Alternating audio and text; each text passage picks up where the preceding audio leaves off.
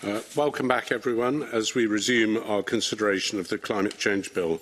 I'm very pleased to welcome Gillian Martin, the Out Acting Cabinet Secretary for Net Zero and Energy, Philip Rains, the Deputy Director for Domestic Climate Change from the Scottish Government, Amy Hill, the Climate Change Legislation Team Leader for the Scottish Government, and Norman Munro, the Solicitor for the Scottish Government. I'm sorry we kept you slightly waiting, uh, Cabinet Secretary, but uh, the last panel overran.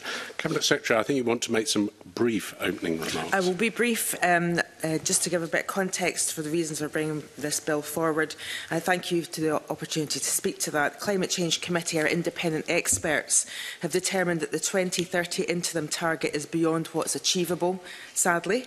Um, Parliament's 2019 targets were extremely am ambitious, and I don't regret that they were ambitious as they set out the scale of that challenge that's prompted action in so many areas. But as the CCC said at the time, to all of us, they have provided unreachable uh, proved unreachable and we must temper our aspiration with credibility and, crucially, deliverability.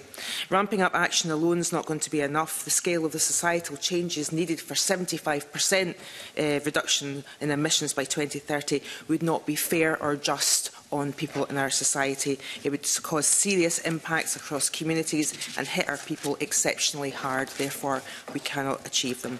The bill enables us, though, to set a credible route to 2045. It's narrow in scope, this bill establishes three things. A carbon budget approach to our targets, enables carbon budgets to be set by secondary legislation, and changes the timing of the climate change plan to reflect those carbon budgets. It maintains annual reporting and will not allow a carryover of emissions. My engagement with stakeholders and party spokespeople and evidence from your council consultation acknowledge this bill is a necessary stepping stone and Scotland must have deliverable targets as soon as possible so that we can bring forward a climate change plan as soon as possible. Move that focus from target setting to delivering. Um, I want to work with this committee and the wider Parliament in fixing our uh, targets approach to fair and credible targets and produce that climate change plan which we can all be involved in and get behind. Um, I'd also, uh, with, with your uh, approval, convener, I'd like to take the opportunity to draw attention to uh, a letter that I sent to the committee yesterday uh, regarding some uh, errors in their annual targets. Uh, the use of a statistic in the just published section 36 report that I was made aware of very recently. This letter sets out the circumstances, implications of these errors and the actions that we're taking swiftly to rectify them. I intend to speak to this far more fully in my statement to Parliament on the Section 36 report uh, later this week in the Chamber. And also I will issue the necessary corrections to the Section 36 report as soon as possible. But obviously happy to answer any questions on that. Thank you, Cabinet Secretary. And just to confirm, that letter was sent from your office at approximately 8 o'clock last night and was distributed to the committee at 7.30 this morning prior to the meeting, so there may well be questions. Uh, I have to say that's quite a tight timescale uh, to look at the contents of it, and I'm not sure that I fully understand it, but I'm sure members will drill into it today. Uh, Cabinet Secretary, on the, uh, I guess last summer, we, we knew that the climate change uh, targets were not going to be achievable. And I think on the 17th of April uh, this year, the Cabinet Secretary at the time indicated the new climate change bill would be coming forward. And again, on the 28th of May, uh, that was referenced into the Parliament. Um, we got this on the 5th of September with very little time for scrutiny. Did you ever consider bringing up a, a more narrow uh, bill just to delay the, the climate change plan, which is the driver behind this, which has to be produced in November so that Parliament could have proper time to consider this bill that's in front of us? I'll tell you why, convener, I didn't consider that the best approach. Um, if I were to bring forward a bill which would not put in place the new uh, climate change, uh, the, the new uh, target structure, then we would have a void we would have a void where the previous targets in the 2019 bill weren't achievable and then we wouldn't have anything in place.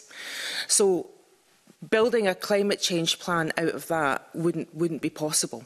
You know, what we want to do with this approach is we want to have uh, five-year carbon budgets, which will require this legislation that hopefully the Parliament will agree, so that we can set and train this different approach for which we will get advice from the Committee from Climate Change. The Committee from Climate Change, once this bill is hopefully passed, will then be putting together their advice to us. And then in spring next year, they will give us the advice on the targets and the systems that we have to have in order for us to take that advice and put it in train and set the targets in secondary legislation will be done. So therefore, if what you're suggesting is that you know we had legislation to just um, change the timing of the climate change plan, it would be very difficult to put a new climate change plan in place without advice from the CCC because we wouldn't have those structures in place. So I didn't. If I, if, if that was considered, it was. It was off the table quite quickly. Obviously, I, I um, acting cabinet secretary came into this with the view that we were going to do it, this narrow bill we should put the structures in place and the three things that I mentioned in my opening statement allow us to do five-year carbon budgeting and allow the climate change plan to follow after that once we're able to set our targets in secondary legislation. And I think that's the swiftest approach to getting a climate change plan, a credible climate change plan in place where the action is going to be uh, uh, described. I almost follow that, Cabinet Secretary. My point, I guess, is that we were told this bill was ready in April, um, and uh, despite repeated requests that I've made uh, on behalf of the committee to get sight of the bill in May, June and July and August and early September, the bill didn't come forward till the, the 5th of September, which means we have to work on an expedited programme, which means that we won't have full scrutiny. So I ask the question because I'm a great believer that Parliament should be given full time to consider things in slow time rather than uh, just at pace without getting the chance to fully understand it. So my question was on that basis, even if uh, you disagree with that, Cabinet Secretary, the Climate Change Committee is not going to be producing the information that it requires till early next year, which means that as soon as practically possible, you will produce your climate uh, your carbon budgets afterwards. We could have done this in a slightly slower uh, process to make sure that all the parliamentary procedures and standing orders regarding timings between stage one, two and three and evidence could be met. And I'm, I'm disappointed that we haven't. Um, and maybe I'll just leave it there. I understand your, your, your, your response. Um, the uh, use of The subordinate legislation to set the level of budgets uh, opposed to putting them on the uh, bill. I, I kind of understand that slightly, but again, that goes down to the fact that this uh, committee, unless you went for an affirmative procedure, would not have time to consider the carbon budgets rather than just through uh, normal subordinate legislation where we would only be given a short period of time to consider them. I think is perhaps wrong. Would you consider an affirmative procedure for those carbon budgets to allow the committee full time to consider them?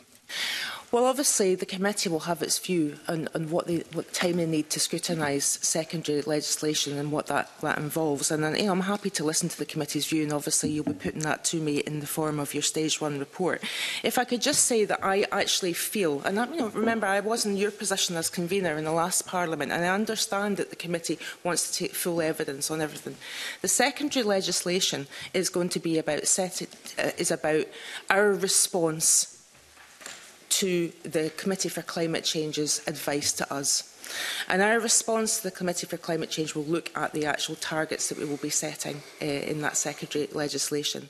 It will not be about the action that is required in order to meet them because they are informing the climate change plan, although we will be working on the climate change plan throughout this whole process, we have a very good idea of the sort of things that we will need to do. Because as you said, we, we, we had stretching targets in the past. It's not going to be any kind of like ramping down of any kind of action. It's going to be ramping up of action as well. In terms of the time that the, the, the committee would like, I think it's important to look at the full picture, uh, convener. Um, from my perspective, the initial consideration and written advice by the independent ex uh, experts of the CCC will come We will consider that. We will work on a draft plan. There will be a formal laying of that plan in Parliament. There's actually quite a lot of areas for scrutiny for all the elements about what is going to inform the climate change plan. The climate change plan itself, we want to get that to you as soon as possible so that you obviously have your minimum of 120 days scrutiny of the climate change plan, but also I want to get that to you as quickly as possible so that it's not going into the next parliamentary year, if at all possible. CCC have said that they'll give us advice in, uh, in, in spring. I'm hoping if this bill passes in the, the, the time the timeline that we would like it to, that that gives the Committee for Climate Change more time and we might get that advice more early than that, which would allow you to have more time to, to look into what that means for, for, the, for the targets. I'm willing to do everything I can to give the committee more time if it doesn't delay our climate change plan from getting put in front of you. Because I think that's where the... And I've been watching all your sessions from your experts and some of the evidence that you've been, been taking, some of the questioning, is really in the, in the space of the climate change plan. The very narrow bill here is about procedures and processes in, in order to put forward um, the, the budgets. The real meat in this is the discussion of the action that's going to be taken in the climate change plan. And that's where you're going to need the most time for scrutiny. And that's very much in my mind in terms of, I, I understand the committee's um, oh, slight irritation about how quickly we're asking you to do this. But obviously we had a situation where we had a general election happen.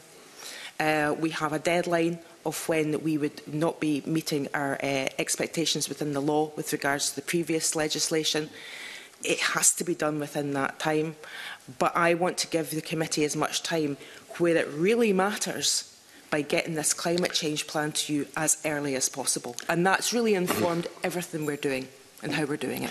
I, I, I think I can uh, I think we had correspondence from the DPLR committee saying that a super affirmative procedure might be appropriate in relation to this. So that's two committees that said that, which I'm sure you'll reflect on. Monica, I think you want to come in. Thank you, Convener. Um, yes, really pleased to hear the Cabinet Secretary say that she wants this committee have more time, as much time as possible, to scrutinise the, the action plan. Um, with that in mind, um, would she be willing to share with the committee the work that's been progressed so far on the climate change plan so that we can have as much time as possible? Well, obviously, we're working at the moment that we, we're bound to the, the previous climate change plan, which is in, in action. It's still, it's still there. What I'm not going to do, Miss Lennon, is I'm not going to give anything partial and put it out in the in the public domain. I'm not going to put anything partial out there because I think that that is a really tricky situation to get yourself in. There's a lot of people relying on a credible climate change plan, which is informed by CCC advice, which is informed by our different approach to the, the, the various um, uh, emission envelopes that we want to put forward, which is informed by the, the, the new five-year carbon budgeting process. I think if you were in my position, you would probably feel the same because if you put anything partial out there, if you put anything that is unfinished, are not deliberated and obviously a lot of this will have to go through uh, I work with all my cabinet colleagues on this because it is not my my portfolio that makes all the delivery uh, commitments in terms of reducing emissions it is a cross government approach if I were to put anything out there that was not fully informed by the CCC advice or by the secondary legislation that we put forward it would be partial and it would be subject to probably a great deal of change. So I am not going to, uh, but what I want to, um, what, hopefully what I want to leave you with is the fact that the work on the climate change plan never stops. It is an iterative process.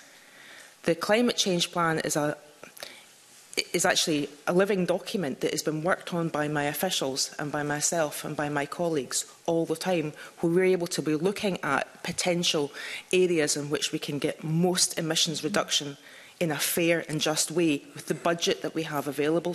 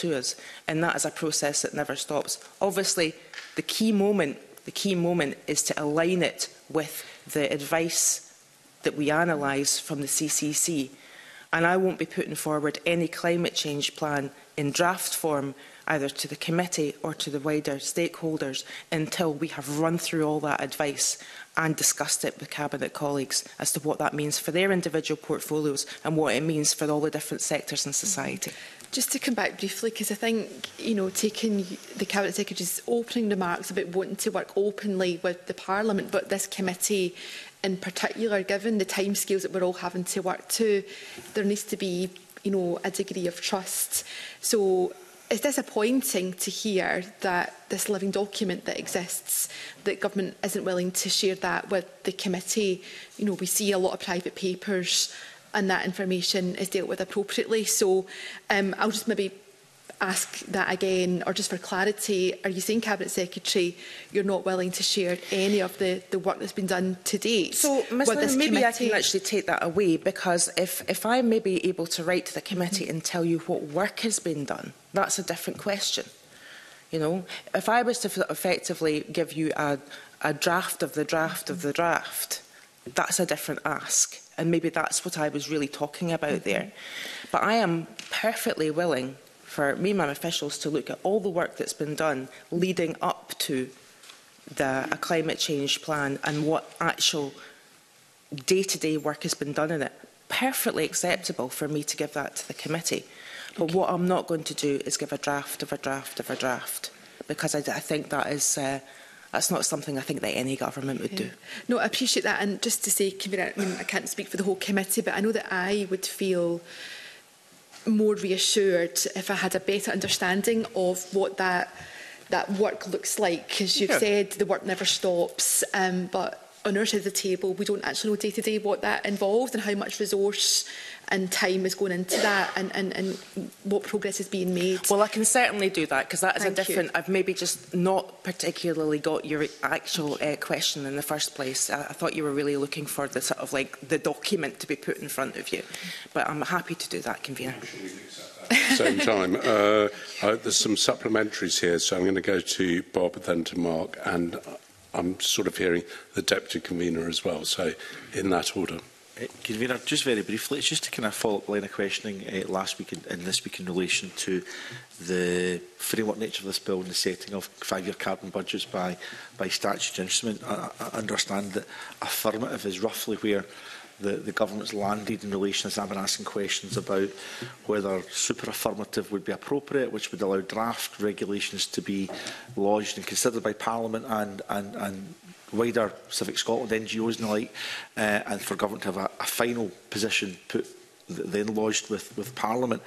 That, that is something I'm very sympathetic to, but, but also looking at the parliamentary timescale, that would take a one and a half month parliamentary timescale to around five months, and I'm just wondering when arriving at the level of scrutiny for Parliament, if that timescale is something that was an issue for the government, because one and a half months to pass a statutory instrument or five months when we really want to see that ch climate change plan published as quickly as possible as well may be a barrier. So just wondering your thoughts on that, Cabinet Secretary. Well, my, my thoughts on that are exactly the same as you've just articulated, Mr Doris, because um, the real action takes... We, we've all governments are criticised for not taking action quick enough.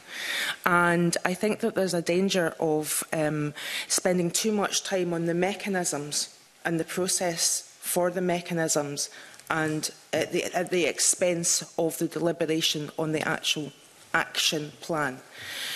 I worry that if this process is, is extended any longer, we could be looking at not having a climate change plan to the committee before summer. I want to be able to give that, this to, to the committee before summer. You know, um, a lot of that will depend on the CCC's advice. You know, if it's late spring, then that might be more difficult, but that's my intention.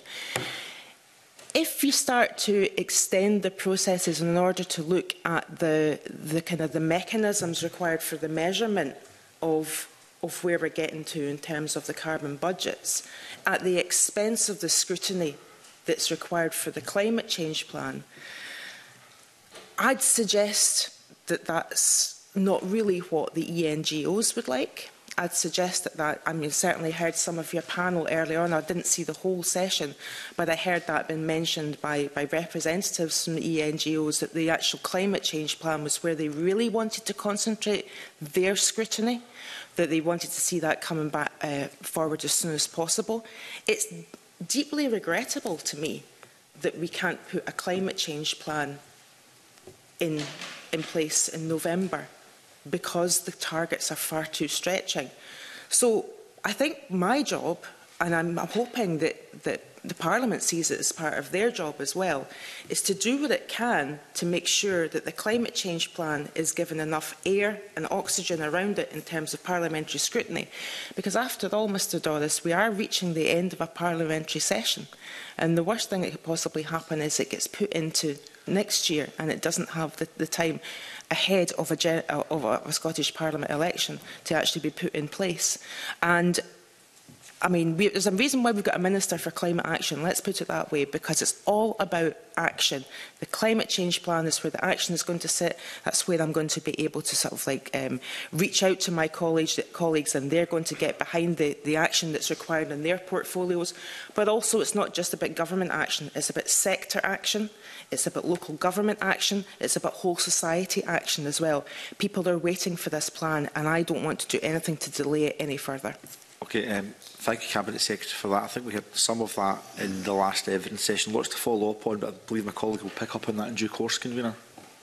Okay, thank you, uh, Mark, followed by uh, yeah. Michael.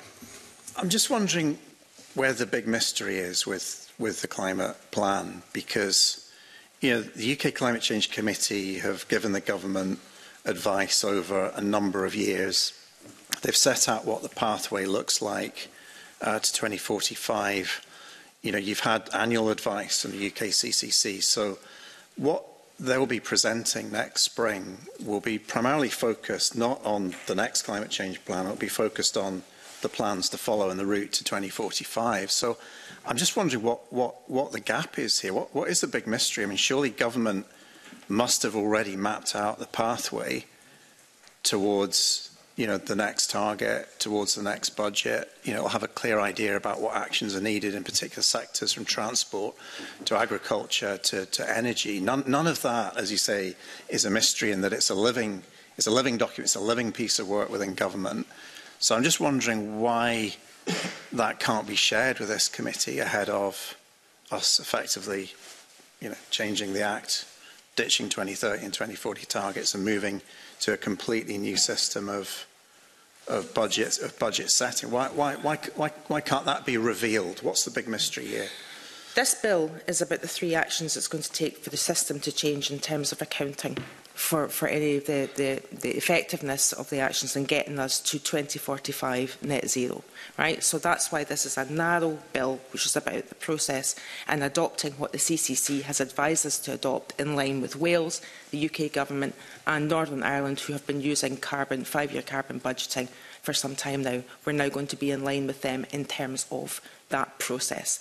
So having a narrow bill like this, I understand why a committee like this, uh, who I know very well, would want to get into the weeds of what's going to be in the climate change plan. But the process, the, the process that we want to go through is by getting the mechanisms in place through this bill to have five-year carbon budgeting and to have a climate change plan, a credible, credible climate change plan that dovetails into advice from the CCC now that we are adopting that system of five-year carbon budgeting rather than the targets that we had in the, the, the 2019 bill. The action that needs to be taken in order to get to 2045 net zero, I think we're all pretty familiar with the type of action that's going to have to take, but not just in the devolved space, but in the reserved space, not just in the government space, but in societal space.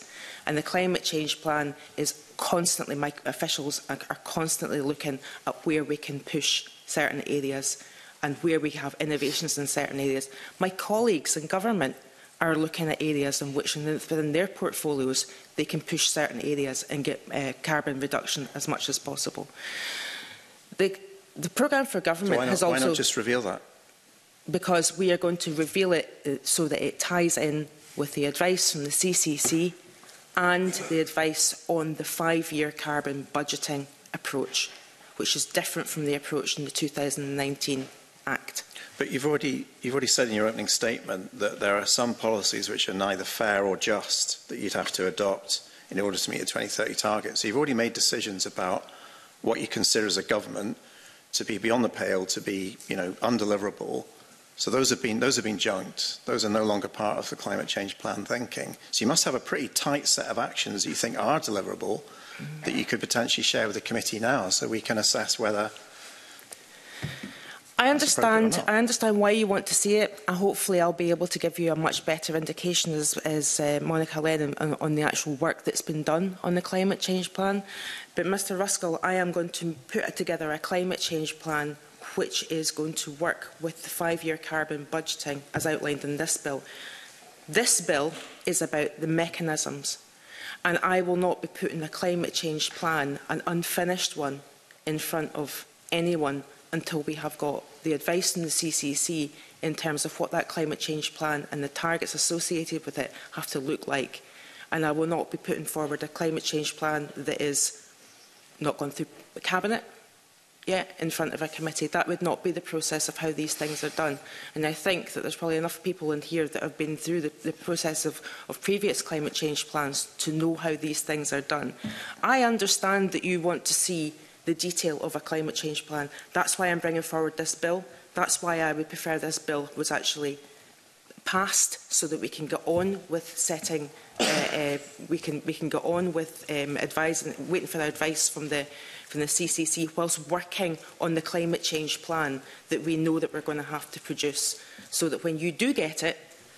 as a committee and as a parliament you have as much time to scrutinise that as it deserves.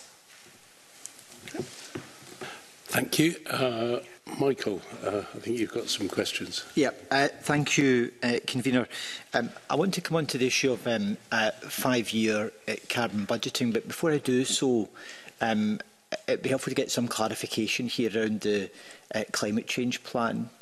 Um, it, is it is it is it my is my understanding correct that the climate change plan, which will be published by the government, will be the final climate change plan. That will be it. No consultation, no engagement. It will be the climate change plan that will be published. Or will there be, after you receive your advice from the CCC, will there be an external to government engagement programme in order to develop a draft climate change plan which will be shared publicly? So the process will be the second one that you've outlined, where there will be an extensive period of consultation on the draft climate change plan. There will be a draft climate change plan, which will be informed by the advice from the CCP, will be in line with the, the five-year carbon budget process and procedures that we want to adopt in this bill.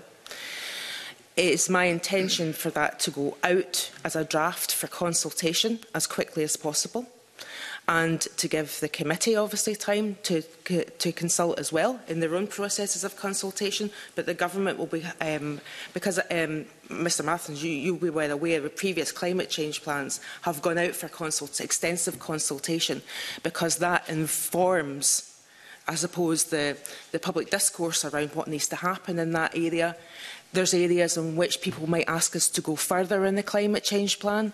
There's areas in which some sectors might say, well, if what's in the draft climate change plan happens, that maybe doesn't, doesn't align with a just transition. I mean, Just Transition Commission will want to look at, at the, the, the draft climate change plan, the Parliament and all our stakeholders will want to look. There is nothing in that process that is going to squeeze that in any way. It is they uh, have to give it the oxygen and the consultation around that in the same way that we have done with successive climate change plans. Okay, I, think that's helpful because my, my impression was that the published uh, climate change plan would be a final document. No. So there will be, uh, external to government, there will be a, a consultation exercise yes. uh, on a draft climate change plan, yes. uh, which clearly this committee will be able to engage in uh, during the course of that process. Uh, the point I, uh, main point I want to come to is the issue of uh, five-year carbon budgeting, and we've had evidence, uh, both written and in oral, sessions here in committee around the pros and cons of uh, moving to five-year uh, carbon uh, budgets. Uh, one of the uh, concerns around the five-year carbon budget process is the, is the risk that, uh, that you could go a five-year period before you come to a point where you realise that you're not making sufficient progress uh, and that you have failed to achieve what you'd intended to in that five-year period because we've moved away from annual targets. So we know that some other jurisdictions have put in place a mechanism that allows ongoing scrutiny and accountability around progress that's been made during the five-year period of the carbon budget. Could I, Cabinet Secretary, get a sense from you on what the Scottish Government's plans are to put in place uh, with the carbon budgets a process that allows us to have a clear line of sight on the progress that has been made in individual policy areas and how you intend to facilitate that in an ongoing basis with a carbon budget once it's in place? So there's a couple of mechanisms that we're proposing. First of all, and I said in my opening remarks, that we will still have annual reporting. And I think that's going to be really important that, you know, not annual targets, but annual reporting on the progress towards the five-year carbon budget um, uh, amb ambition. The the, the, the bill's going to retain that rhythm, that, that current rhythm that we have uh, on reporting on uh, greenhouse gas emissions, on where we are with the climate change plan, how that's been embedded. Um, reports on the climate change plan will be unchanged. We're very clear that when we were taking forward this bill that I wanted that retained as much as possible, well, retained completely uh, as it was in the 2009 le legislation in 2019 as well. Um, ministers are required each year to lay before the Scottish Parliament a report um, on each substantive chapter of the CCP. Uh, that is in line with the 2009 Act, I believe. Um, we're also uh, required to lay in Parliament a report on emissions reduction every year as well, indicating the percentage by which the Scottish uh, emissions are lower than the baseline. And obviously that's happened every year. That will continue to happen every year. Nothing in this legislation or this bill that's in front of us changes any of that. And your point about how important that is isn't lost on, on me at all. A five-year carbon budget is not we wait five years and report on it and then, oh, we haven't managed to make progress and whatever. There's also going to be, there's also work happening as well in embedding far more you know, deeply into the actions of every portfolio in government, how we can embed the actions. I was listening to their eh, eh, evidence uh, before, where it was actually mentioned that even a KPI uh, way of doing this would be something that, and I'm, I'm open to considering anything in that space. There's actually work happening on at the moment of how uh, sector by sector will have, we'll, we'll have sectoral envelopes within the climate change plan. Obviously, I'll be reporting on them every year. Ms McCallum will be reporting on them every year uh, once the climate change plan is, is out there in its final form as consulted upon. Um, But those, that, that sort of checking in to how, how we're doing every year, the Parliament scrutinising every year how we're doing and been able to ask me or Miss McAllen questions on that, absolutely fundamentally important. Because if there's changes that need to be made, if there's acceleration or there's blockers to things happening, or conversely, if there are real achievements being made in certain sectors for perhaps reasons of innovation that has happened that we didn't anticipate, then we are able to report on which sectors are doing particularly well and which ones perhaps need some, some, some other assistance and support. That's very helpful. So, um, given that carbon budgeting will require greater buy-in from individual portfolios in budget allocations to meet their sectoral responsibility, do you envisage a process in the annual reporting that will allow us to see the progress that's been made in individual portfolios against what target they should be looking to achieve? Yeah, and I think that's going to be, I mean, I'll, if I give you some more detail on what's actually been done in that space. So there's a joint Scottish Government uh, and Scottish Parliament review of the budget matters pertaining to uh, climate. And that concluded at the end of last year. Um, the report, there was a report on those, there was three strands of work in that re report, um, which Scottish Government officials are now taking forward. And that talks to what I was talking about in terms of the wider cross-portfolio work. The first proposal is to include a dedicated climate annex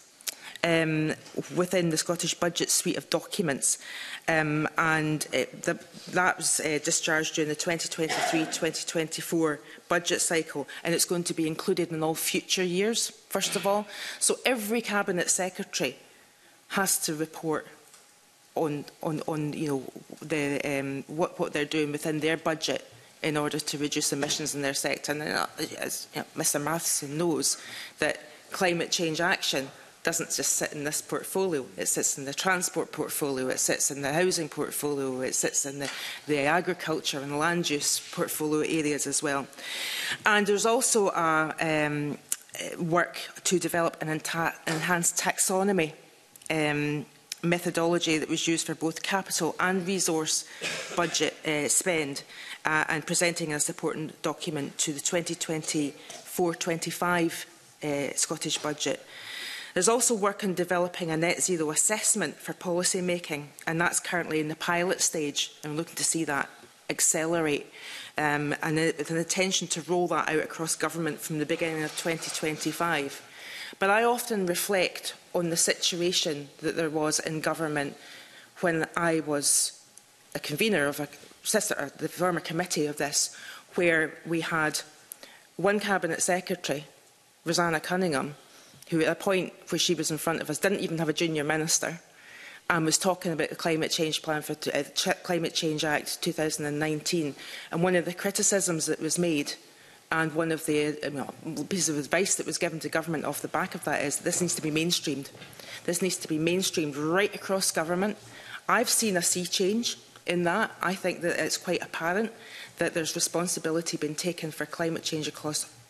all portfolios across all departments of, of government, but that action around the budget, you can't take action without having the funding behind it.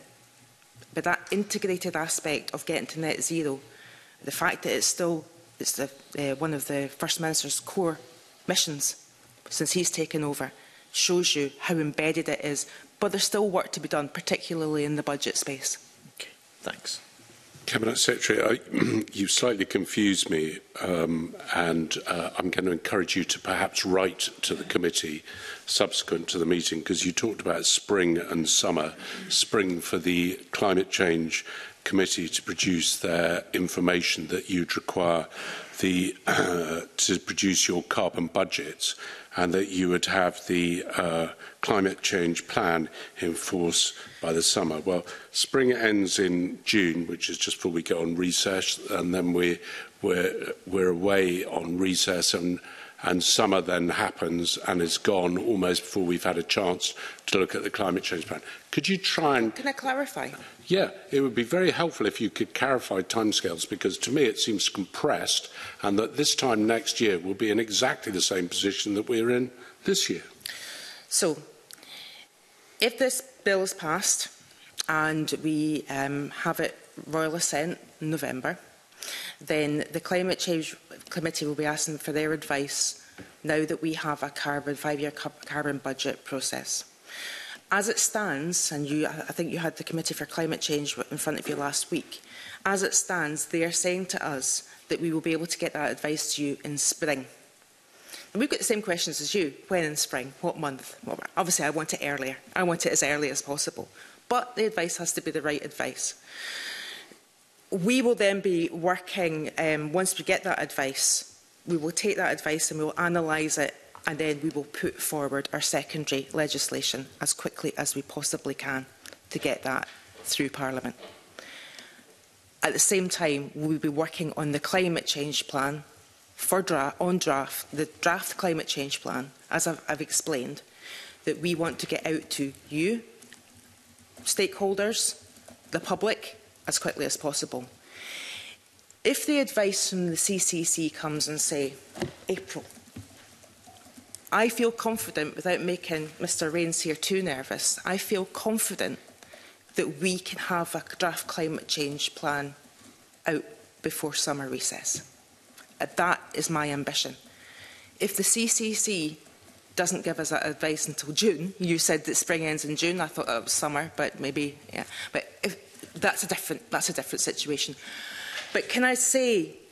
all the more reason for getting this process in place. As soon as we get this bill through, and everybody knows, including the CCC, that we're going to five-year carbon budgets, they can get working on that advice for us. And hopefully we will get that in early spring, which will allow this committee and our uh, stakeholders to have a draft climate change plan to chew over and deliberate in time for you coming back in September and then 120 days for Parliament to consider it, or is yes. that part of that process? Absolutely. So it won't, it won't actually be technically, if all the days were used, we're, we're talking about March 2026. Is that right?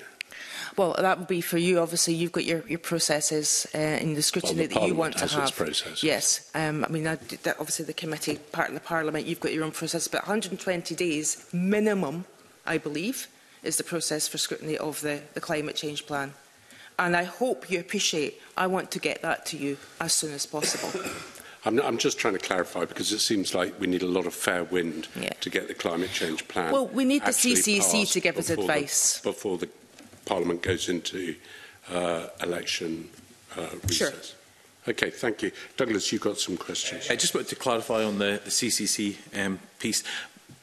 Cabinet Secretary, are they not working on a report already for, for uh, delivery in, in spring for the whole of the, the UK.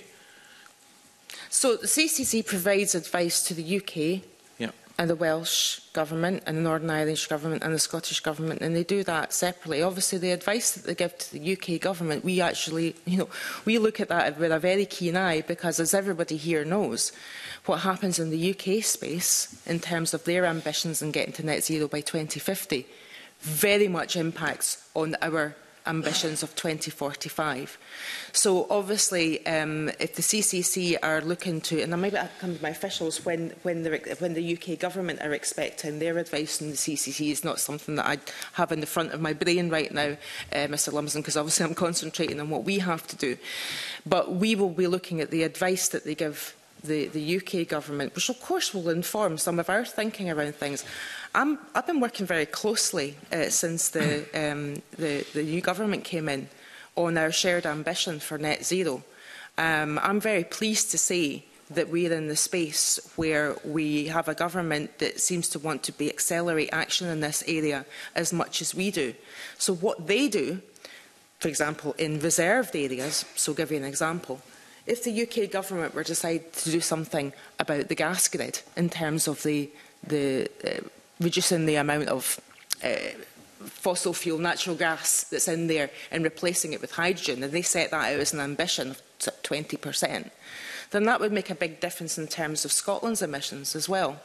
It would make a, a you know, so we would obviously be factoring that in as well.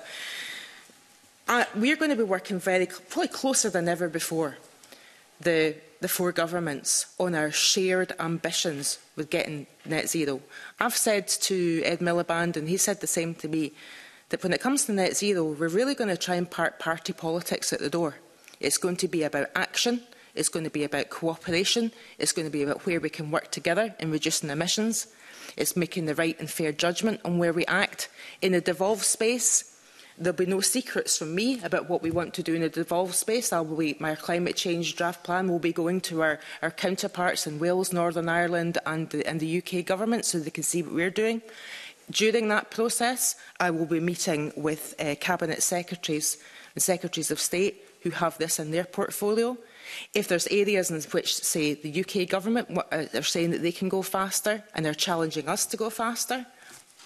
I want to have those conversations.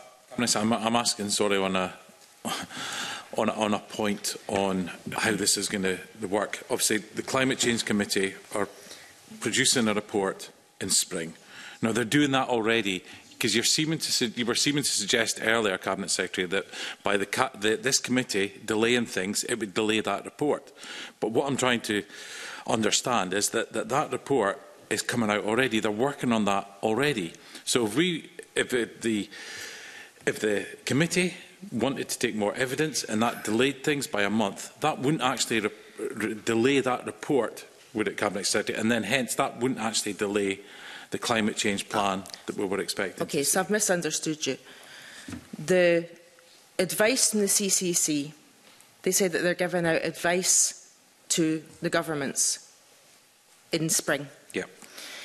The advice that they would have ordinarily they would have been given as, as per the 2019 Act would have taken a different shape, would have been for the 75% reduction by 2030, the 90% reduction by 2045 and net zero by 2045, that mechanism. The advice that we'll be waiting for the CCC to give us if this bill passes and we're able to introduce carbon budgeting will be relating to that different mechanism of carbon budgeting. So the CCC know where we want to go. They've seen this bill. They're in support of it. They uh, have recommended that we go to five-year carbon budgeting. So I don't think there's any, there's certainly not any kind of pushback from them in that regard. They're pleased to see that we're taking this action and we're changing those processes. It just means that the advice that we get will be dovetailing into that five-year carbon budget process. I'm not saying that us changing anything will delay advice. But what I am saying is the reason why I can't give the convener and the committee a definitive date about the climate change draft plan is because I don't know when in spring. UK government doesn't know. Welsh government doesn't know when in spring that they'll get this advice because the CCC haven't said yet. But the sooner that we get a bill passed and get royal assent that says the Scottish Government is now working on a five-year carbon budget mechanism, the sooner the CCC can give us that updated advice now that we have gone to a mm-hmm. different system. But, but are we del delaying that report? I or is this bill delaying I, I, I, wouldn't, I, wouldn't, I wouldn't think so, but, okay. what, what, but what, I, what I would say is that if we, if we don't change the mechanism to five-year carbon budgeting in law, the CCC won't know what advice to give us. Okay, um, moving on to the next question. CCC last week given evidence um, said it had recommended that you should align with the UK carbon budget periods. But the Scottish Government aren't planning to do that. What's your reasoning behind that? Well, very simple reason uh, in, in terms of uh, aligning. If we were to align with the timing of the UK government's um, carbon budget, we would have to wait until, and I've just checked with Phil, 2028? 2028. Now, we want to go as quickly as possible. Mm -hmm. We don't want any void. We don't want any void in terms of our sort of like our, setting out our, our, our plans in terms of the, the targets um, and setting out our carbon budget. Coincidentally, if we move at the pace that we have intimated to you, we'll actually be in line with the Welsh Government coincidentally, but we will be in line with the Welsh Government because the Welsh Government isn't in, li in line with the UK Government. I think fundamentally you have to come back from the 2045 target. So the UK Government have got a 2050 target. That's what they've set out as being their net zero target. We went further because we have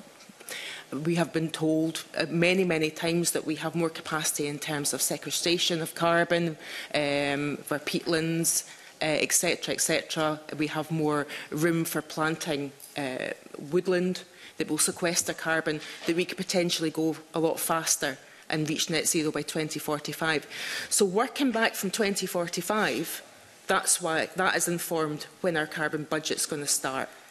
The UK government are working back from 2050. Um, I don't think it will make any material difference about alignment uh, in terms of timescale, because, as I say, work on all the actions that all the governments are taking is happening all the time anyway. Um, that we are working together to make sure that what Scotland's doing is uh,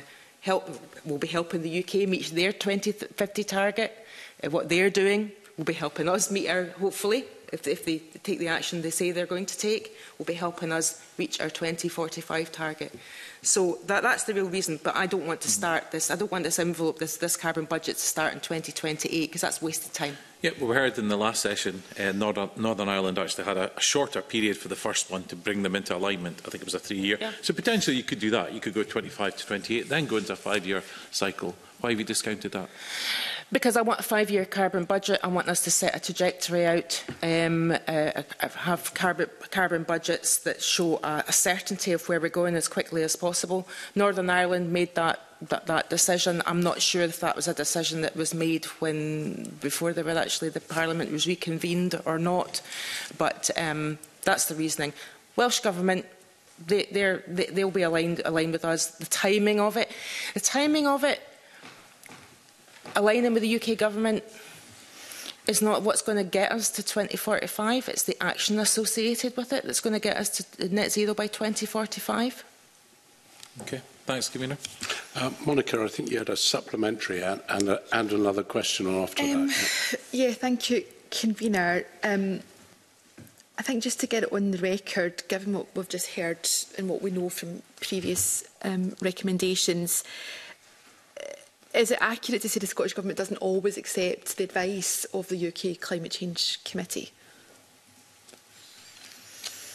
So the, the, the UK climate well, obviously, because I wouldn't be sat here putting this bill forward if we had uh, said that we couldn't go for 75% reduction by 2030. But as Miss Lennon will remember, it was actually um, during the process of the, the, the 2019 Climate Change Now Act um, was it Rosanna Cunningham put forward a draft that I'm, I'm trying to remember, was it 65, 60 65% reduction by, by 2030, and it was Parliament that actually voted in favour of 75%. Now, Rosanna Cunningham was very clear at the time that she said, Parliament has voted for 75% reduction by 2030. They have to recognise, we have to recognise that the action to get us there will have to follow. The target setting isn't enough.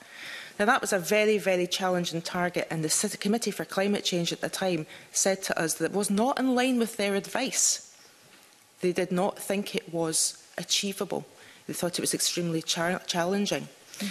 I think that in this, the, in, in this country and in the wider UK, we can see not meeting a target as, as failure. But where, the way I like to look at it is if you don't set challenging targets that change a culture, that change a mindset, that show that you have bold ambition, that maybe action isn't accelerating as fast as it could do. So do I regret not us as a parliament steering away from from the advice that we were given from the Climate Change Committee that we should have actually stuck to what Rosanna Cunningham put forward at the time, which was 65% reduction? yes and no certainly we would be further, nearer to 65% than 75%. But has it accelerated action? Has it meant that net zero is now embedded far more deeply across government, far more deeply across um, society, far more deeply across local government? It's embedded itself into the agriculture bill. It's embedded itself into the MPF4. It's embedded itself across policy making. And remember, the CCC doesn't give you policy advice it gives you advice on achieve, uh, the, the targets. So, in summary, the answer is we did not take their advice in 2019. We went further. I think some really interesting reflections there, Cabinet Secretary. Thank you for that. I mean, I was, I was really just asking the question just as a, as a point of fact to establish, and we have done, and Douglas gave an example, that government um, you know, for its own reasons, I'm not given a view on that, um, doesn't always accept the advice of the Climate Change Committee. The reason why I'm asking that is because we've just heard that in terms of, you know, your hope that you'll get advice from the CCC in early spring, but that could be late spring. And then if there's slippage there, we're, we're really in trouble then in terms of building in the consultation period and getting a climate change plan approved before the end of this parliament session. So uh, the reason why I'm asking that is because I'm wondering if you have taken advice from your officials on another possibility, which is that you go a bit earlier and publish a climate change plan in draft ahead of the CCC, providing you with the fulsome advice that you're expecting. And then that would allow, um, based on any advice that comes, any possible changes could be made. Because I, I, I don't know about others, but I'm concerned that, you know, I don't want to say overemphasising because they are important, but the CCC does provide valued advice, but at the end of the day, they're not giving you, as a government, you know, policy advice. So I'm just worried that quite a technical process is going to lead to delay. So Is that a consideration that you could go a bit earlier? You don't need to wait for the CCC in spring. So I think well, what you're suggesting is that we publish a draft climate change plan without any advice from the CCC. So I'm asking if you've considered that based on all the work that the Scottish Government has been doing, you say that work doesn't stop, the work is ongoing, so people are working really hard. And there is obviously a discussion between the Scottish Government and the CCC. You know, we know that that, that happens. Um, so have you considered the options available to you to publish a draft plan ahead of the CCC formal advice coming? No, because publishing a draft climate change plan for a new, which was, which was um, as a result of a change in the, the, the carbon budgeting, needs and we have always committed to having CCC advice ahead of that. I'm not going to change that. That's back to front as far as I'm concerned. So I'm, I, I'm, I'm frankly surprised that the idea has even been mooted that we've published a climate change plan in draft without having CCC advice. I'm not going to do that. I want CCC advice. It needs to be informed by CCC advice in order to have credibility. Yeah, and I suppose what I'm trying to say is that, you know, that relationship between government and CCC is an ongoing relationship. It doesn't just happen when reports land. So there is ongoing advice. So another final question on that point is that if, for whatever reason, CCC can't give the government advice in spring or early summer, um, what in terms of your risk register, um, what does that mean in practice in terms of this government's ability to get a climate change plan approved by the end of um, this parliamentary session, which is effect March 26? So all I can go on is what the CCC have said, and they've said that they will give advice in spring.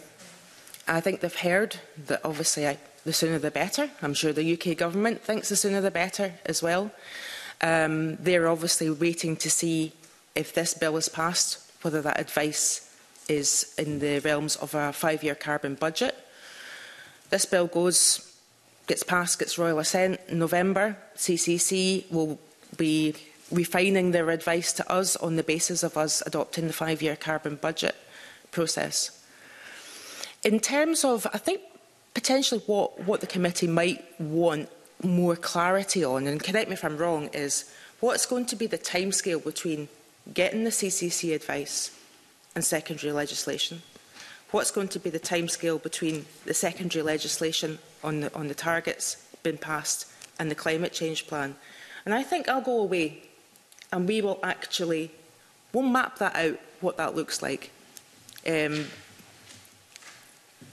but I keep on coming back to this point, that if the CCC's advice comes to us at the time we hope it will and they think it will and the time they have indicated to us, It is my ambition to have a climate change plan in draft out before the summer recess. I have highlighted some of the risks that there are, are with splitting this, you know, mm -hmm. having mm-hmm. two bills, having a super affirmative, everything else. That's the thing that potentially puts the climate change plan back. We have looked at how can we get a climate change plan that's credible, deliverable as soon as possible out there. This is the way that we have done this, having this narrow bill which sets the, the, the, the climate change, the, sorry, the carbon budgeting process mechanism, gets it in statute, advice, secondary legislation on the targets, draft climate change plan. I want to see that happen as quickly as possible so that you've got the time as a, as a committee, so that wider Scotland has a time uh, to look at the climate change plan, which is where all the policy discussion is going to take place, which is where all the action points are going to be. Mm -hmm. And thank you and grateful to that offer to go away and do some mapping around um, timescale. I've just got one more question, but I don't know if Mark is... Yeah. I'll just come in as a sap on that. And, and can I just reiterate uh, Monica's point that we, we would appreciate the mapping of the timescales uh, for next year to build in, sorry, the 40, 40 days for the subordinate legislation and the 120 days for the... So we can see where it's going to go. Okay. be very helpful. Sorry, Mark. I think that is welcome if you're prepared to look at that again because it, it, we do seem to be in a chicken and egg situation here. I mean, the clear advice from the UKCC when they were in here last week was you kind of need to have the draft plan available at the same time as you're considering a draft budget.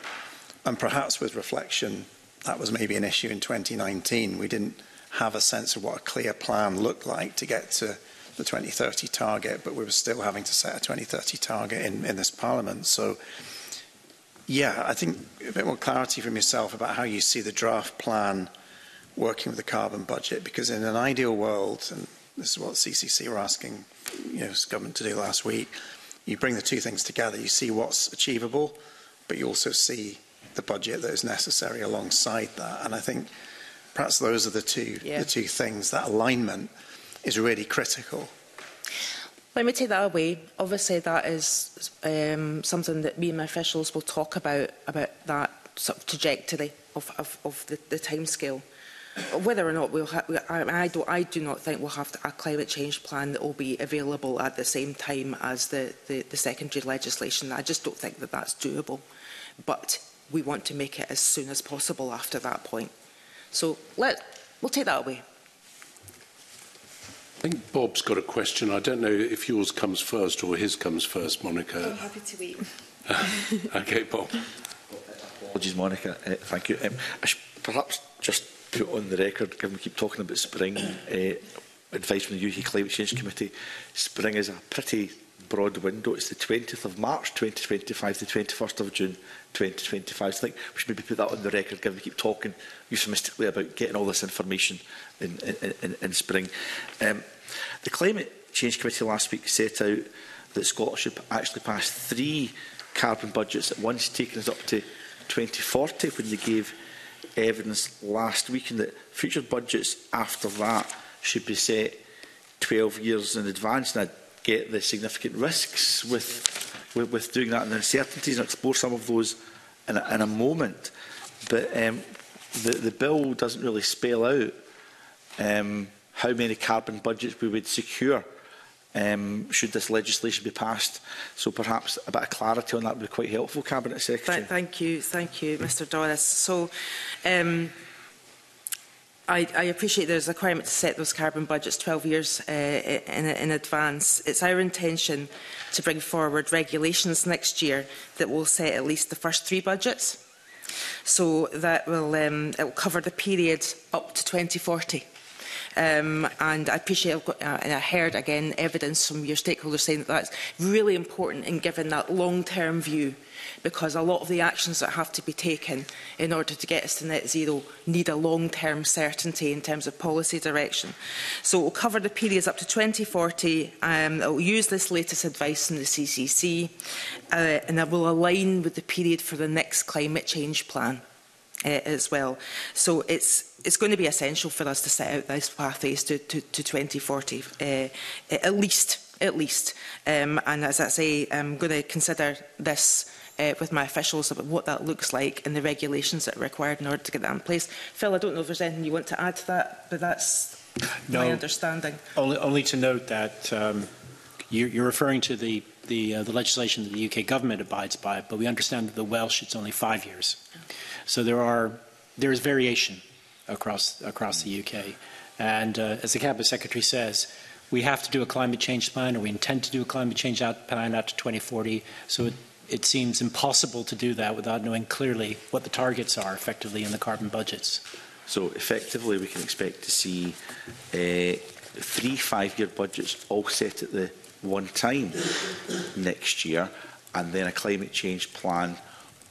running to 2040. And, and I'm supposing, Cabinet Secretary, just for clarity, that after that, a future government in five years' time would be setting 12 years out that yeah. next carbon budget. But I'm assuming, as the UK government has done, convener, they'll also be revising their assumptions for the 10 years that are already set but well, the time hasn't yet elapsed. Yeah, and hence that need further to be the, the targets being secondary legislation as well, Mr. Dodds, because of course that's going to give um, like future governments uh, a chance to assess how far they've come in the five years and what maybe needs to change in terms of targets.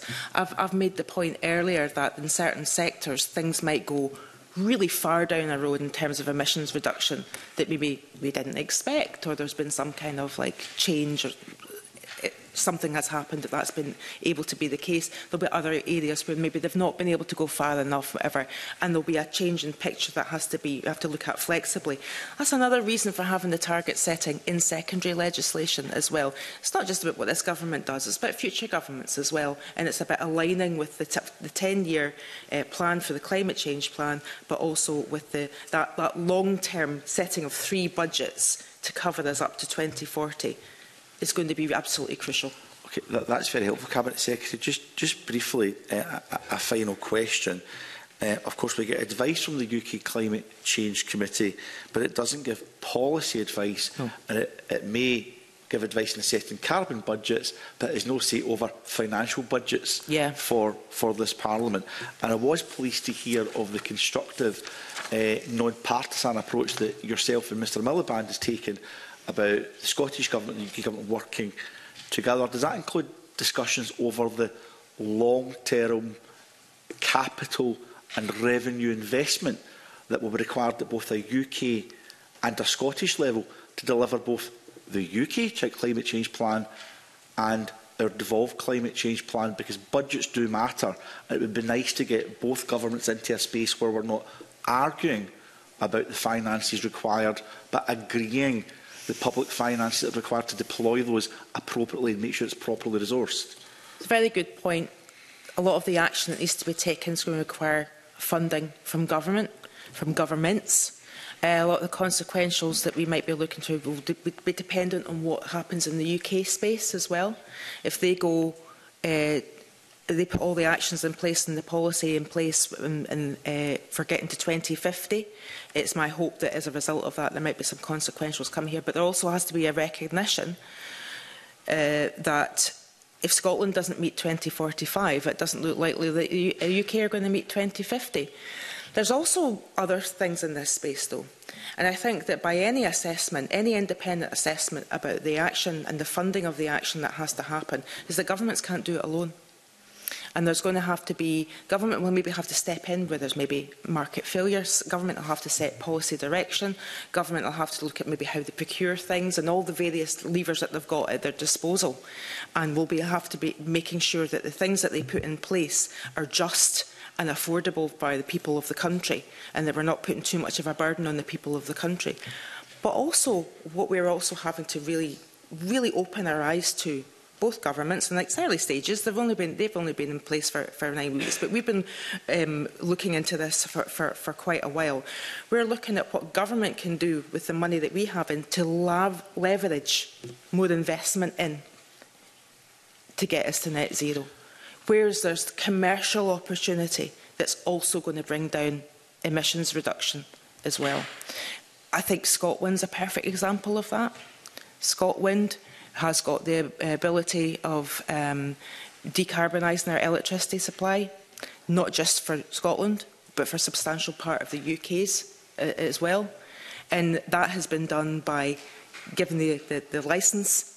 the licences for Scotland are out there, commercial companies bid for them, and then as a result of that commercial activity takes place which decarbonises our electricity supply. There's lots of other areas like that and there's also like investment opportunity as well in things like restoring peatland, planting woodland, etc etc and we need to be alive to that. That's helpful, Cabinet Secretary. Give you no further questions, but I think it does neatly finishes, land back on the idea of that line of sight to 2045 to give the private sector that certainty yes. and policy direction to allow them to feel confident to invest the, the, the huge sums that are actually required to meet net yes. zero. So thank you, Cabinet Secretary. Um, can I just remind all members and uh, uh, the Cabinet Secretary, if I may, that short, short questions and short answers are particularly helpful when I'm trying to meet a deadline.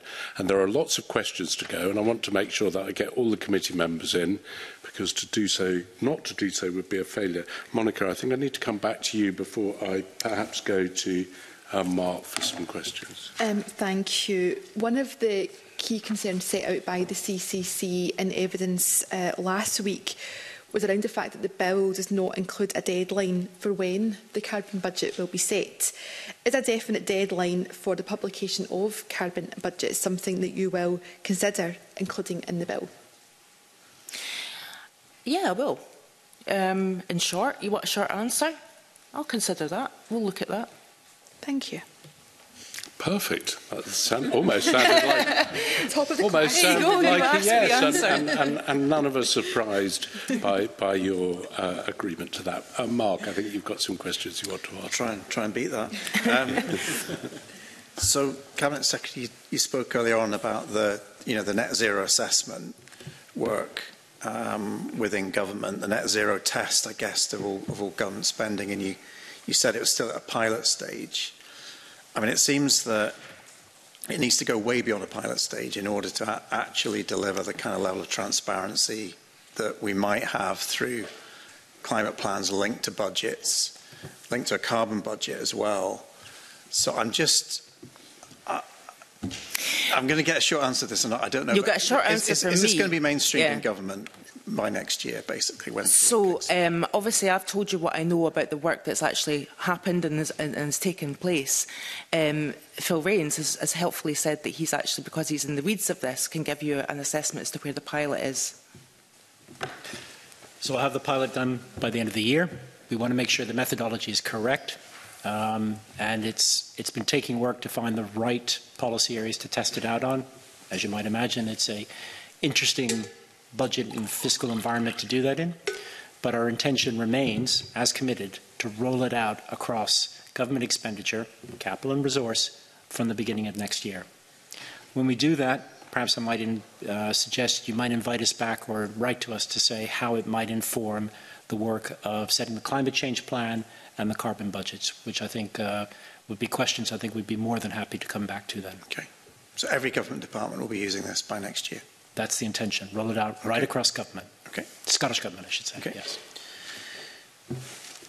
Um, another question then, um, in relation to you know the five years that we've had from the setting of the 2030 target and where we're at now.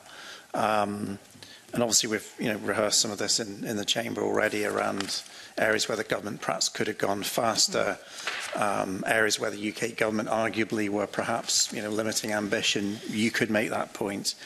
But I think I, uh, uh, I'm, I'm after an honest reflection from yourself um, on behalf of the government around areas where you think you could have gone a lot faster. Um, you did have the advice from the Climate Change Committee in 2021 that the target remained difficult to meet, but there are areas like home heating, where they were calling then for government to really accelerate action. What, what, what's your thoughts looking back on areas where you feel progress could have been made with hindsight? And what, what, what lessons does that, that uh, give you for the next five years and what goes in that next climate change plan? Where we should, should we be really ramping up action the way that perhaps we didn't five years ago? So I'll give you my reflections on on, on where I think we, we, we could have gone further, but I want to put it in the context of um, some of the things that we we have done, to, and it comes back to that embedding point that we made uh, in your previous question as well. If you look at quite a lot of the things that have happened in the kind of legislative space across other portfolios, and indeed policy space across other portfolios, net zero has been absolutely embedded. And we look at the agriculture bill. Yeah, and and uh, because land use is, is one of our biggest em emitters, and the work that has been done in Marie Goujon's portfolio in order to make sure that uh, the agriculture bill is engendering a, a system where uh, landowners and uh, land managers and farmers are uh, compensated and rewarded for work that they do that improve biodiversity and reduce emissions that there's, there's work been done in there. If you look at the work that's been done in Fiona Hislop's portfolio as well in terms of the commitment to have more uh, uh, eh, EV eh, e charging points in place, the electrifying of rail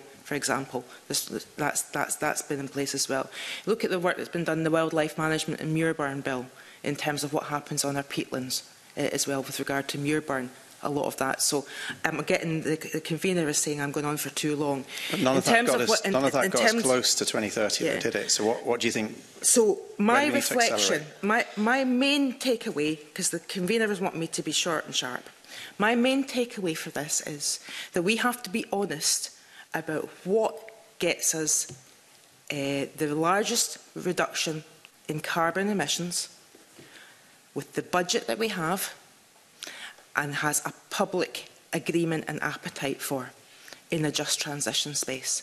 And that's actually a conversation that I'm having with my colleagues in Cabinet who have got, you know, in the land use space, in the transport space, where there are the areas in which we can accelerate and go further within the limited budget that we have that are going to make the biggest difference. Maybe we've tried to do too much and it's been too piecemeal. Where are the areas in which we can actually bring our limited resources into and actually have substantial change. What do you think those are? Land use, transport, construction. Mm -hmm.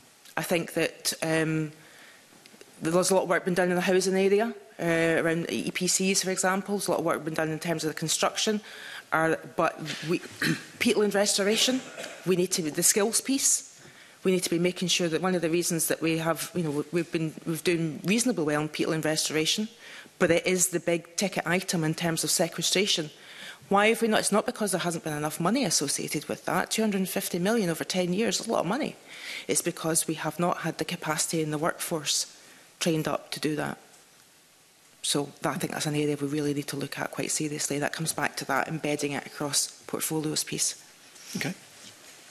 Monica, I'm not sure if you had another question uh, in, in this batch or whether I was going to go to Douglas next. Um, I think it's fine to go to Douglas here. I think okay, I've covered Douglas, a uh, uh, you're on. Oh, great. Thank you. I'm just going to pick up something that uh, Michael Matheson asked earlier about um, uh, reporting, um, first of all. Because um, there was Section 36 report has to be done if you, if you miss your targets. Is that, is that correct? Yes. So would we see any Section 36 reports being done within the five-year period, or would we have to wait for the five-year period target to be missed or met um, before we see a Section 36 report? Section 36 report's out.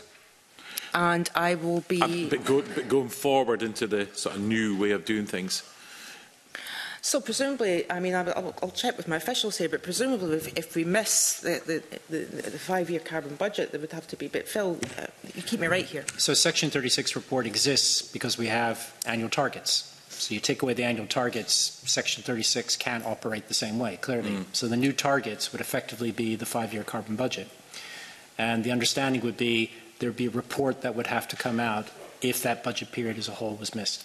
Mm. So, so, so, if there's, so in other words, the point where you're formally missing something, the requirement remains to come in and do something about it.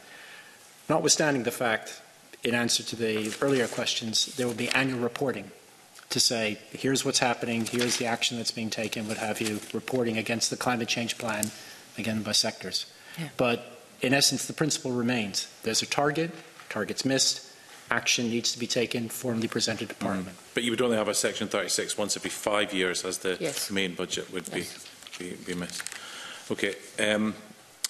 The next question I had was that a complex mix of devolved and reserve policy levers are needed in order for Scotland to achieve its emissions reduction targets.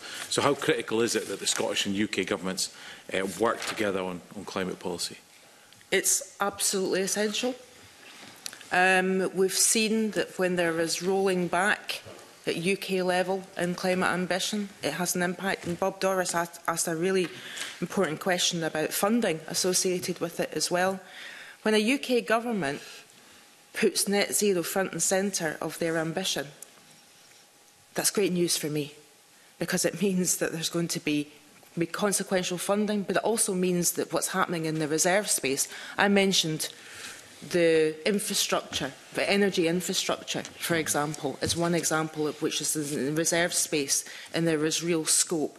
There's also other regulations. There could be regulations on the types of fuels that are used for aviation and the percentage of SAF that might be used. There's lots of levers that the UK government have which make a material difference to us getting to 2045. So when you've got a government at UK level and at Welsh level and at Northern Ireland uh, level who prioritise getting to net zero, not just in terms of the targets they set, not just in terms of the rhetoric that they say at COP, but in actual policy action and the associated funding, we're all winners. Um, and I'm actually genuinely feeling very positive about the conversations that I've had since I became acting cabinet secretary in this space. Now, obviously, I would have liked to have seen the, the, the, the, the budget commitment that was made pre-election on net zero action. Of course, I would have liked that to be retained. Um, we'll have to see what comes forward in the UK budget in terms of what that means for our budget in this space. But in terms of action that needs to be taken in order to reduce emissions, if all government have the same ambition –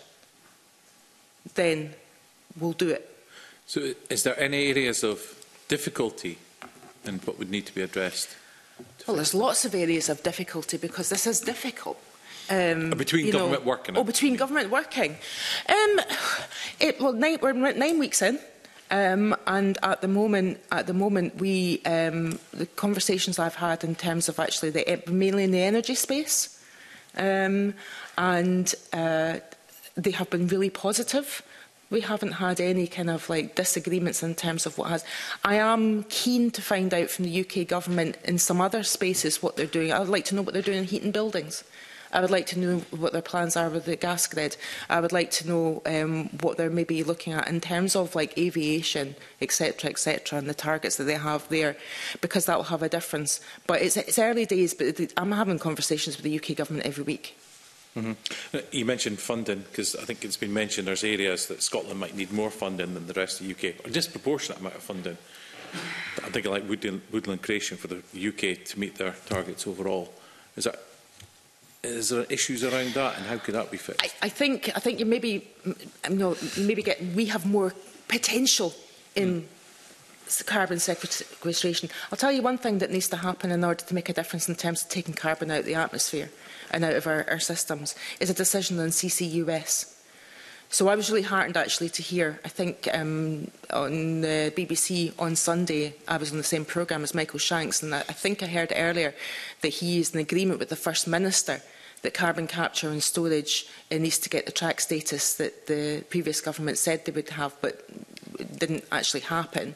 The UK government now um, seem to be uh, keen that we accelerate that. That will make a big difference for the ACORN project in terms of actually sequester, uh, locking in carbon into our reservoirs. It's also be very good for the whole of Europe, actually, because um, a lot of European countries don't have the capacity that we have. Also very good for the economy. So that's an area where we can make a, some really quite clear, fast difference. Okay, thanks, Camila just looking round. Oh, uh, the Deputy Convener wanted in, sorry. Thank I, you, I Convener. It's just a, a brief supplementary to follow up on Douglas Lumsden's question about Section 36. So if a Section 36 can only be carried out after the five-year uh, carbon budget has been implemented, what happens in intervening years if, say, for example, the annual figures we receive each year demonstrate that insufficient progress has been made? where is the legal lever to require government to take corrective action in order to try and get those targets back on line if there's no Section 36 until the end of the five-year period? Well, I guess the, the, the legal lever is the, uh, the fact that if we don't correct our action uh, year on year, we are coming up against the five-year carbon budget, the, the Section 36. So in terms of like the scrutiny that the Parliament has, uh, if we're missing targets and we're, or we're, we're, we're not taking the action that we're supposed to take in those annual reports that come forward, then we will have to commit to accelerated action. Phil, Norman, lawyer, can I bring in the lawyer? um, the Scottish Government's position is that the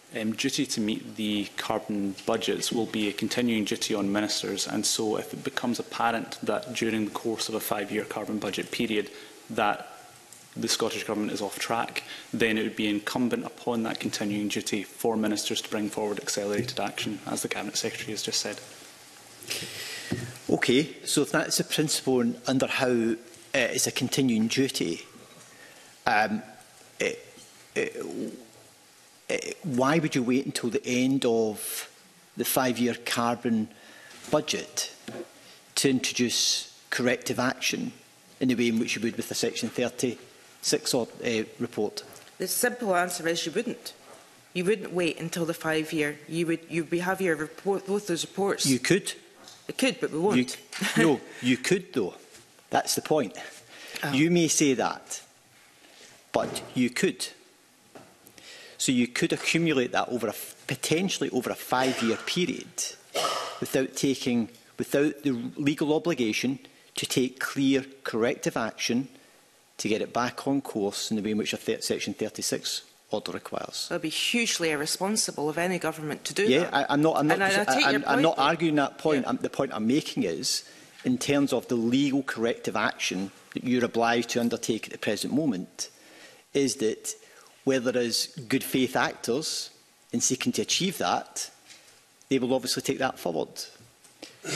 Should someone not be, or a government, not be a good faith actor in pursuing those targets, then from Parliament's point of view, there's no legal lever here to require them to take the corrective action. So I'm just wondering, just posing the question then, is there a need for us to think about If there was, say, for example, as I understand happens in Germany, I think from the evidence we received earlier on, is that if for two successive years it's clear that there is a gap opening up, there's a requirement for them to then bring forward what would be their equivalent of a Section 36 report in order to show what corrective action they're taking. So it's not every year it has to happen, and potentially within a, two, a five-year carbon budget that would only happen potentially at a maximum twice. Mm -hmm. So um, I just wonder whether there's a need in terms of being able to make sure that there's a legal uh, framework that forces corrective action when it's clear that it, not enough's been done. There's a need for a provision within the legislation that would help to facilitate that and give, I think, Parliament reassurance. Let me take that away and I'll look at that evidence that you got as well. Obviously, we look at other um, UK uh, parliaments and they've been working with a five-year carbon budget for, for some time. We haven't. Uh, I think an analysis of maybe the situation that you describe, where that has maybe happened and it's been an issue. Because you're right, if you've got a government that cares about reaching these targets, taking this action, then they act responsibly. And these reports that we have every year will prompt action. If you've got a government that doesn't act responsibly, how do you hold them to account? I think it's a fair point.